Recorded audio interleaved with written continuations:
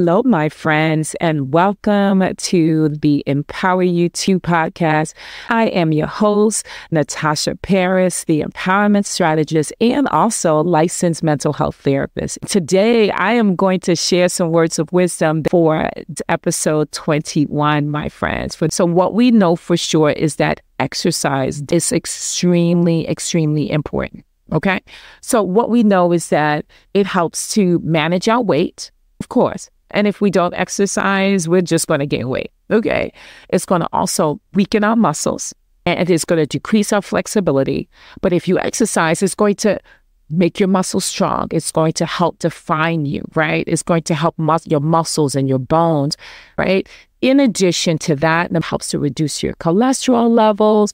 It helps to increase blood flow through the to the brain, to the heart. It just really does a great, great thing to your body. As a licensed clinician, it helps to reduce your stress. It helps to reduce your anxiety.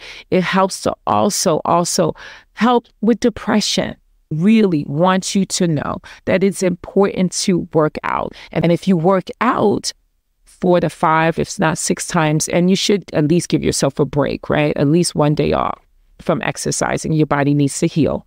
And let's really do some great things with our bodies because we only have one.